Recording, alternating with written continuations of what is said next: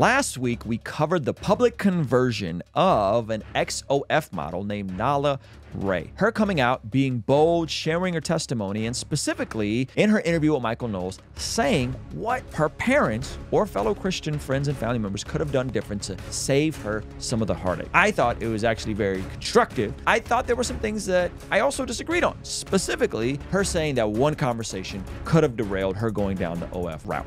Do you think there's anything your parents could have said that would have gotten you not to do it? Absolutely. A friend of mine, Pastor Curt Kennedy out of DC, made a great video talking about some of the other things to caution regarding Nala Ray's newfound conversion, and one of them that may actually impact Christians negatively. But before we get into that, guys, my name is Ruslan. This channel exists to encourage, empower, and inspire you to live a life that blesses God. If you're new here, or if you're not new here, please make sure you hit that subscribe button. There's a huge percentage of the people that watch this channel are unfortunately not subscribed. One of the things I love to do here is I love to highlight other creators other pastors who are on YouTube, local church pastors. I think that's huge, especially if you can discover a local church pastor in your area, end up connecting at their church, getting to know them, getting plugged in. I think that's a massive W. Curt Kennedy is one of those guys.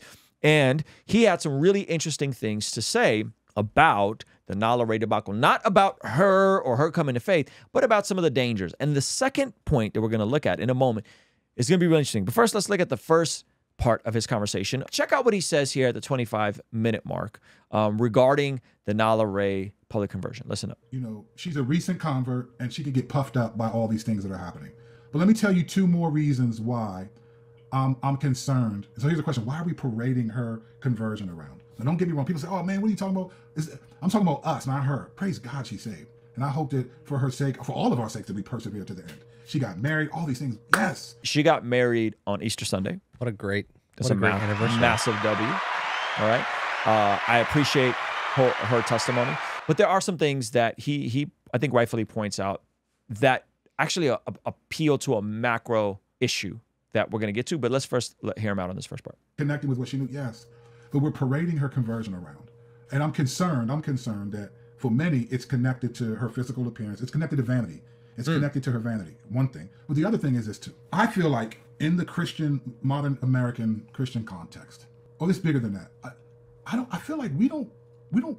Almost. We almost act like God doesn't do this stuff all the time, like save people. Like I.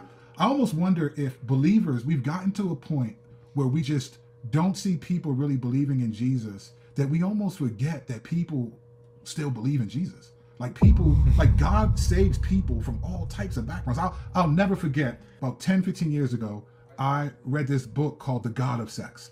And this, the last half of this book was about countless stories of people who were living in the sexual acronym community lifestyle, right? They were uh, same sex attracted. There, there was a guy who said he had been he had been with 1,000. He was a man that had been with 1,000 men before Jesus saved him. And I remember Yeah, being yes. blown away because I, I it got exposed to me back then that I just really didn't think that people like that could be saved. Like I just I lost hope Wow. for certain sins that people can be saved, right? Because we're not seeing people be saved in droves. And I wonder if for us as the church, if we've lost hope that God does save, so that when people get saved, we're literally blown away. Like, why should we be blown away? You're not wrong. That's that's heavy. So why are we blown away? Do we not know anyone in our own lives that has perhaps gone off? Maybe they weren't a famous OF person that was doing all the runs on all the podcasts, but do, do, have we not known anyone that was involved in activities like this that, that then turns their life around through Christ? Do we not know people? This is this is why when I've gone on those podcasts and I've had the conversations with the Adam 22s and the, the Leonard the Plugs and all these people, I've seen God turn around some crazy, crazy, crazy, crazy lives. And so th- that that is a very interesting observation he made. Earlier in the video, he also made the observation of in her conversation with Michael Knowles, she says that she was craving attention. Mm-hmm. And he was concerned that because she was a new convert, she was getting the very thing that she was craving from the Christian community. And he Yeah. didn't know if that was helpful, which I also thought was good. But this next part of the video, to me, is, in my opinion, one of the most important regarding this conversation and something that we've done, but we're going to do more of. And when I would do concerts and they'd ask me to lead the youth meeting, I would have these con- I call these humble conversations where I would ask questions and they would have to raise their hands in humility. And countless times I heard believers who grew up in the church say stuff like this. Man, I wish I had like your testimony. You know, I would share my testimony. I come from dr- all of that. And there were people who would walk up to me disappointed and would say, "Man, I wish I had a testimony like yours," or "I wish I had a Saul's uh, road to Damascus conversion." I mean, I'm just pretty much born. I've just grown up in the church. I've just been a Christian my whole life. Like I don't, and they were discouraged by that. And I remember after traveling to a number of cities, I got discouraged by that. And the mm. reason why I got discouraged because at the time I didn't have children, and I remember thinking, "Man, I don't want my kids to have my testimony though. Like I want my kids to have this kind of testimony. I grew up. Yeah. I just didn't really stray that much. I, you know, sinned a little bit, but I didn't really go. And, they, and, and I was like, I want my kids to have that testimony. In fact, I, I mm-hmm. believe and still believe that if my kids have the testimony of I went out and I did all this stuff, and now I'm coming back to Jesus, I would feel like a fa- I failed as a father. And so I still I'm with him. He's not wrong. I am with him. Like if, If if Levi and Zoe grow up and go down this route, I will feel like I failed as a father. it's like you, my kids needed a, a, a supernatural encounter to come back to the faith. Mm-hmm. I probably should have done something different. Mm-hmm. And then, and obviously that's not the case for everybody. Mm-hmm. Right. I mean, there are freak accidents. Yep. Where someone's just predestined. Yeah, that's good. Go ahead. one one point for the Calvinists. started to go on the anti-testimony tour where I would tell these kids who grew up in the church, who've never pursued the world, none of it, I would tell them, hey, listen, your testimony is actually much stronger than mine. Let me tell you why.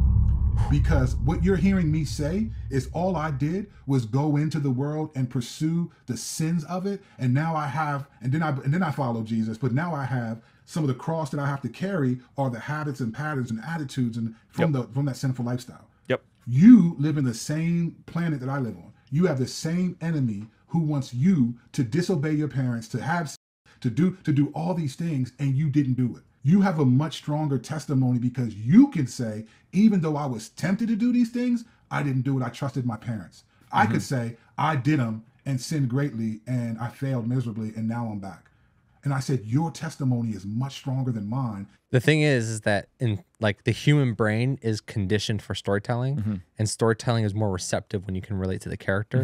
Mm-hmm. Mm-hmm. And when the character can say they failed and got back up, it makes a better story and it makes better storytelling and connection with the audience. And so that's why these stories get so much bigger. Yes.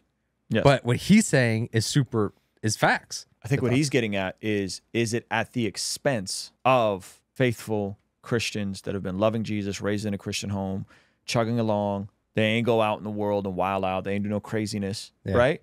And we're parading all of these stories around, which makes for great storytelling and makes for great content. Yep. But the person that's just, hey man, my mother loved Jesus, my father loved Jesus. They raised me in a good home. They loved me. They provided for me. They took care of me. They made sure I was in church. They made sure I got the Bible. Right.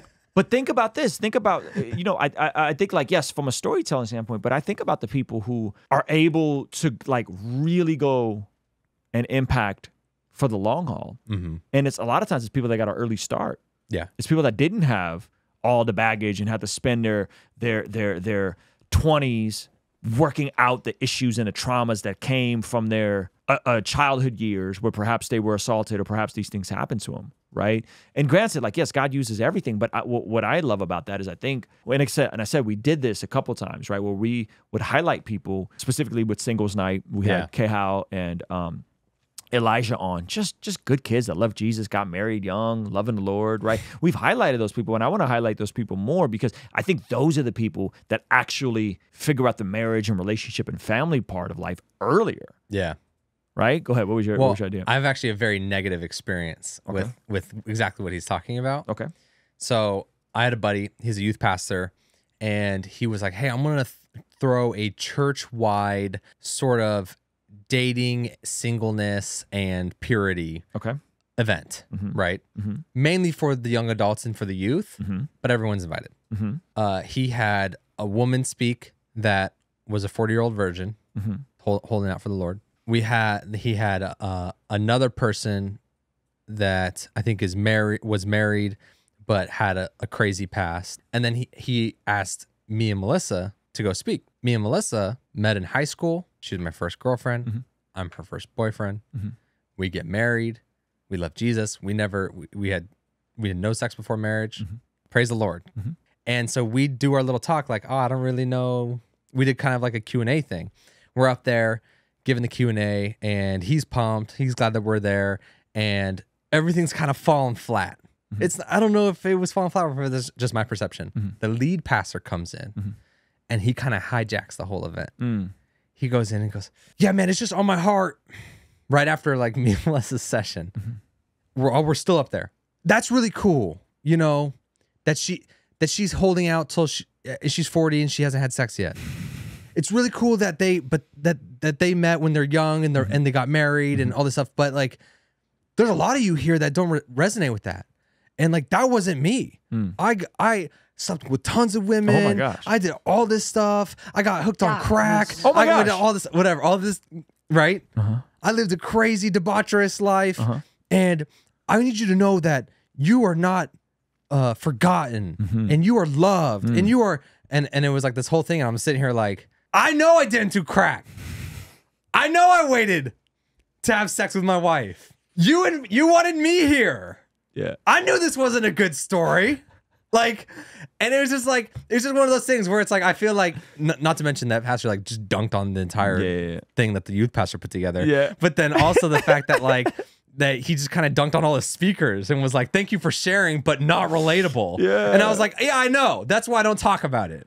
Because all you That's goobers why- are like, you don't, you're not at that You don't anymore." get it. Yeah, you don't get it. You don't. It's like, all right, cool. Now I don't know anything about dating. You do your thing. I, I know how to be married. Yeah. I know how to date someone that you're gonna marry. Yep. But I don't know. I don't know what to do. What you want to do. Yep. You want to. I'm sorry, you're on your third girlfriend. Same principles apply. Yep. Sorry that you're on your tenth girlfriend. Same principles apply. Yep. You probably suck somewhere. And that's the part. But, but it goes back to the thing of like, Yeah. I don't have a testimony. yes. And and I get that why people are like, oh man, I wish I had your testimony. I don't wish I had their testimony. I just go, I don't I don't have a need to like share my experience sometimes. see- but because see- because I'm like, I'm cool. I'm chilling. But see, I feel like your experience, I feel like Kehal's, uh, Kehal and Elijah's experience, I feel like that these are experiences that people who are in the world need to have, need to hear to stop complaining that like it's impossible to get married and impossible to have a family and impossible to do these things. yeah. All the people that are like, little guy can't get ahead. They don't make them like they used to. Women yeah. are all whores. Yeah. Right? Yeah. like, I feel like those are the people that need to hear your testimony. yeah.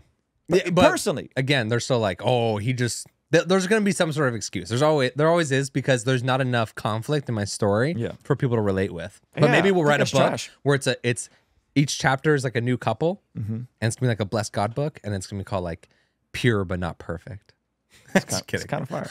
That's kind of that'll go. that'll hey, go. that'll go, bro. That'll go. So, Could be like a coffee table book with like Yeah. five photo shoots. so, so, so it's like I think this need to like, I and, and by the way, I think I think folks that grow up knowing Jesus and grow up in church and then feel this external need to go and build their testimony is one of the lamest, cringiest things ever. Yeah, that's pretty bad. I- especially if you're, you're intentionally saying those words. People are like, "Man, I think I'm just in a season of building my testimony." What?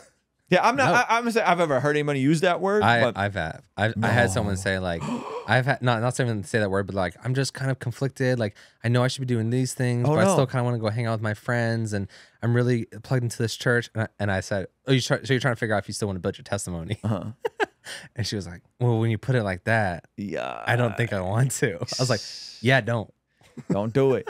Don't do it. So let the Lord keep you guys. Let the Lord keep you right where He has you. Like if you're growing up in a solid, healthy family that loves Jesus and it's it's tough and tender, and they challenge you to Yeah. to, to to to love God, but eh, but they're warm. Like these are the aspects that I think create generational lineages of of, of Christians that serve the Lord. And I feel like that's what we need more of. Yeah. That's what we need more of. I don't think we need another. I was here doing this and that and all of a sudden, right? Like, because to, to Curt Kennedy's point, there's a lot of things that you will deal with when you have a testimony like that in your mm. Christian walk. Like, you will continue wrestling and dealing with things in your Christian walk, and sometimes you'll you'll just keep going around and round and round and round in circles because some of that some of that that that, that damage that you did to yourself is it, it, it doesn't go away easily Yeah. and it requires a lot of work. So, um, anyway, I think everyone wants to be special and have a, a, fancy testimony and, and have trauma and all these things. And I Yeah. think some of that stuff is kind of cringe. Dude, if I have trauma, I can start a YouTube channel. Yeah. That's awesome. We see, according to the Bible, that prayer is extremely important in terms of us being transformed from the inside out when we get aligned with God's will. For the Christians watching this channel, I want you guys to implement these spiritual disciplines in your day to day life. And the only way I've been able to do this consistently is through writing down my prayers in a prayer journal that does a few things. One, it allows me to reflect and come to God humbly and ask Him to move on my behalf. And two, it allows me to document my prayers, which ultimately help me remember the very things that I was praying for and see the hand of God tangibly in my life when He answers them. So I would urge you, consider writing down your prayers. It could be in a blank notebook, it could even be on your phone. Or you could check out the one I personally designed and used from my own quiet time and spiritual discipline that I think will be a huge blessing. It's the exact structure and system that I've used for years to pray and be more consistent in my spiritual disciplines. You can pick yours up today by clicking the link in the pinned comment below. All right, I'll see you over there. Peace.